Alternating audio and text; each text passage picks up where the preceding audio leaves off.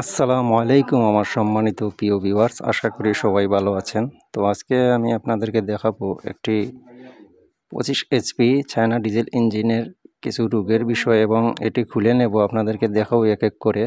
তো এই ইঞ্জিনের রোগটি হচ্ছে গিয়ে আপনার কম্বেশন ফেইলর হয়ে গেছে কম্বেশন একদমই শেষ, কোনো কম্বেশন পাচ্ছি না ইঞ্জিনে তো এটার সমস্যা হচ্ছে গিয়ে আপনার হেডে সমস্যা এসে গেছে, এটা সাইলেন্সার বেলবে আপনার কম্বেশন ছেড়ে দিচ্ছে। আর বেশিরভাগ ক্ষেত্রে এটা ইয়ার ক্লিনারের এদিকে কম্বেশন নষ্ট হয়ে যায়। তো আমরা এখন হেডটি খুলে নেব। হেডটি খুলে এখানে যে হেডের যে কাজগুলো আছে ওইটা আমরা করিয়ে এনে ফিটিংস করব, আপনাদেরকে দেখাবো। তো আশা করি যারা এরকম খোলা ফিটিংস দেখতে পছন্দ করেন, আপনারা অবশ্যই ভিডিওতে একটি লাইক করে নেবেন। তো বিশেষ করে আমি যে খাবারটি খুলতেছি, এটা হচ্ছে আপনার অ্যালুমিনিয়াম একটি খাবার। এটা রকার বাটি, এটা অ্যালুমিনিয়াম। তো এটা আপনারা সাবধানতার সাথে খুলবেন যাতে ভেঙে না যায়। আর এখানে আপনারা ষোলো সতেরো রিংডাল ব্যবহার করে এই রকার সেট খুলে নেবেন। তো আমরা এই হেডটি ভালো করে কাজ করে এনে লাগাবো এখানে। আমাদের সিট গাইড বেল্ট সব নতুন লাগাবো। লাগিয়ে আপনাদেরকে দেখাবো কীভাবে এটা সমাধান করতে হয়। আপনার কম্বেশন না থাকলে কিন্তু ইঞ্জিন স্টার্ট হয় না, এটা আপনারা সবাই জানেন। আর ইঞ্জিনের কম্বেশন যদিও কমে যায়, তাহলে ইঞ্জিনের শক্তিও কমে যাবে।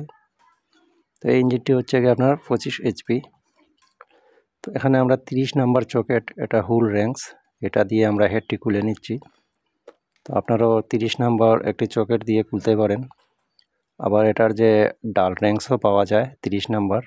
ভালো মজবুত দেখে কিনে আনবেন, না হলে কিন্তু বাজারে কিছু আছে, ওইগুলো ভেঙে যায়।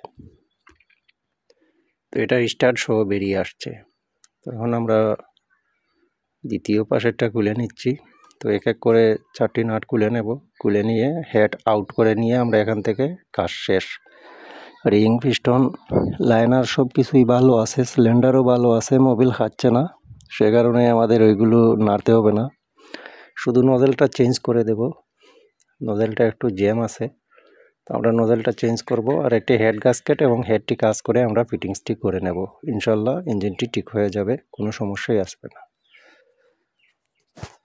তো এই যে দেখুন হেড হেডের যে আপনার সাইলেন্সারের যে বেল্টটি আছে, ওইটা আর আপনার এই যে ইয়ার ক্লিনারের এটা কিন্তু রাইস মিলের ইঞ্জিন এটা রাইস মিল ইউজ করা হয় এই ইঞ্জিন দিয়ে। তো ইয়ার ক্লিনারের প্রচণ্ড গুঁড়া ঢুকে গেছে ময়লা। তো আমরা ভালো করে পরিষ্কার করতে হবে। তো আমি সবাইকে বলি সব সময় যে আপনারা ইঞ্জিনের ইয়ার ক্লিনার নতুন রাখবেন, ভালো রাখবেন। দেখুন যে ইয়ার ইঞ্জিন আপনার স্টার্টিং প্রবলেম কখনোই হবে না। তো আমরা এই যে দেখুন গাস্কেট হেড গাস্কেট যেটা, এটা খুলে নিচ্ছি। তো আমার বন্ধুদেরকে একটা বিষয় সাজেস্ট করব। আপনারা যে কোনো ইঞ্জিন যদি লাইনার পিস্টন দ্রুত নষ্ট হয়ে যায়, সেক্ষেত্রে আপনারা এয়ার ক্লিনারটি সবসময় নতুন রাখবেন। আর ভিতরে মোবিল দিয়ে রাখবেন। দেখবেন যে আপনার হেডে দ্রুত রোগ আসবে না এবং আপনার যে লাইনার পিস্টন এগুলো দ্রুত নষ্ট হবে না। এটা হচ্ছে ফুয়েল ইঞ্জেক্টর কিট এই যে দেখুন। তো এটা নজেল এটা পঁচিশ এইচপি এখন আমাদের হেড খুলে শেষ। আমরা দেখলাম, আপনাদেরকে দেখালাম কীভাবে এটা খুলতে হয়।